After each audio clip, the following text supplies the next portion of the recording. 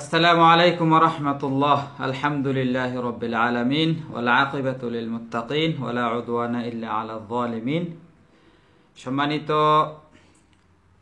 আমার প্রাণ প্রিয় মুসলমান ভাই বোনেরা, বিশেষ করে বাংলাদেশি, বাংলা ভাষাভাষী, ইন্ডিয়ান এবং বাংলাদেশি ভাইয়েরা, আশা করি আল্লাহ ফাকরবুল আলমিন সবাইকে ভালো রেখেছেন। আমি আজকে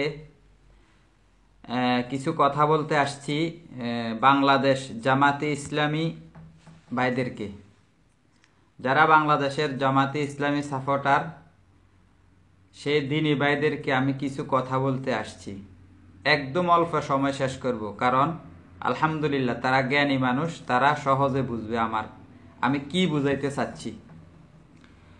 আমাদের জামাতি ইসলামী ভাইদেরকে আমি ফেসবুকে প্রায় সময় দেখতে পাই, আপনারা একটা আয়াত কোরআনের কোরআনের একটা আয়াত ব্যবহার করেন। সেটা হচ্ছে সুরা আলী ইমরানের একশত উনচল্লিশ নাম্বার আয়াত। বিসমিল্লাহ রহমান রহিম। ওয়ালা তাহিনু, ওয়ালা তাহজানু, ওয়া আনতুমুল আ'লাউনা ইন কুনতুম মুমিনিন। মানে তোমরা কি হইও না তোমরা তোমরা বলহীন হইও না, দুর্বল হইও না। যদি তোমরা মমিন হও, অবশ্যই তোমাদের বিজয় আসবে। ঠিক আছে? এ কথাটা আমরা বলি।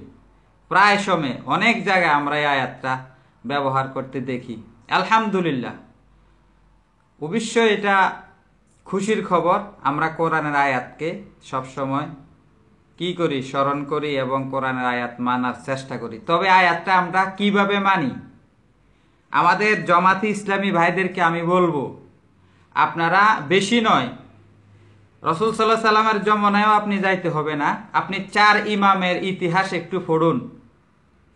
চার ইমামের ইতিহাস পড়ুন। ইমাম আবু হানিফা, ইমামে আজম, উনি জেল খেটেছেন, রহিমাহুল্লাহ, রহমতুল্লাহ আলাই ইমাম মালেক, ইমামের মালেক ইমাম মালেকের কথা বলতে গিয়া আর আপনি কথা বলতে হয়। আমাদের দেশে, আরব দেশও আছে, ইমাম মালেকের কিছু অন্ধভক্ত তারা কি করে? হাত ছেড়ে নামাজ পড়ে। কেন কেন হাত ছেড়ে নামাজ পড়ে জানেন? কেন হাত ছেড়ে নামাজ পড়ে?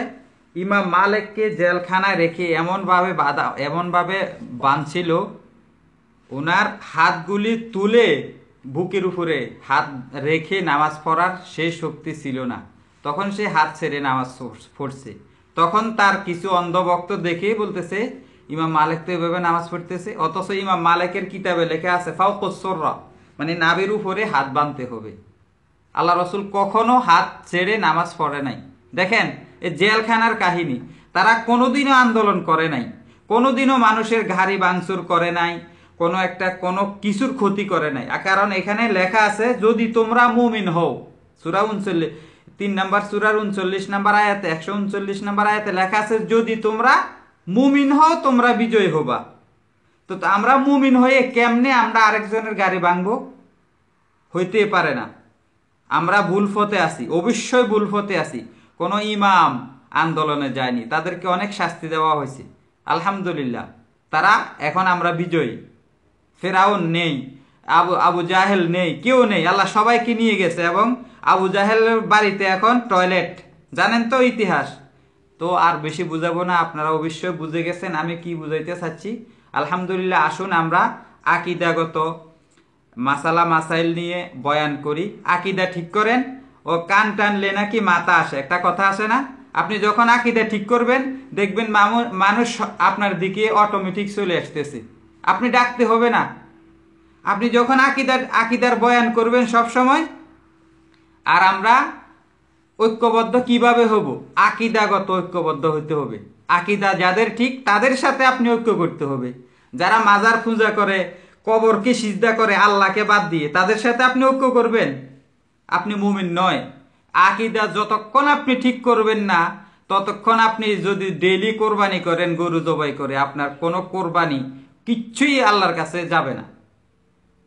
আপনি যতই কোরবানি করেন, কোরবানি বলতে কোরবানি ঈদের দিনের কোরবানির যে কোনো কোরবানি, আল্লাহ রাস্তা যেটাই আপনি খরচ করতে চাবেন কোনো কিছুই আল্লাহর দরবারে যাবে না যদি আপনি আপনার আকিদা ঠিক না থাকে। তাই আসুন, জামাত ইসলামী ভাইদের মধ্যে অনেক বড় বড় আলেমরা আছে, অনেক বিজ্ঞ আলেমরা আছে, আমি ওদেরকে শ্রদ্ধা করি, ওদের বয়ান শুনি। দয়া করে আপনারা আসেন, আকিদাগত ঐক্য করেন। আকিদাগত ঐক্য করবেন কান টানলে মাথা আসবে। যখন দেখবে যে মানুষ শিক্ষিত হয়ে গেছে, আল্লাহ এবং আল্লাহ রাসুলকে কীভাবে সহজে ফাইতে পারে ওইটা শিখে গেছে, আপনি জমাতে ইসলামের দিকে ডাকতে হবে না। আপনার দিকে ওরা আসবে। যাই হোক, ভিডিও অনেক লম্বা হয়ে গেছে। হাদা ওসল্লাহুম্মা ওসাল্লিম আলা সৈয়দিনা মুহাম্মদ ওয়ালা আলী ওসাহবিহি আজমাইন। আসসালামু আলাইকুম রহমতুল্লাহ।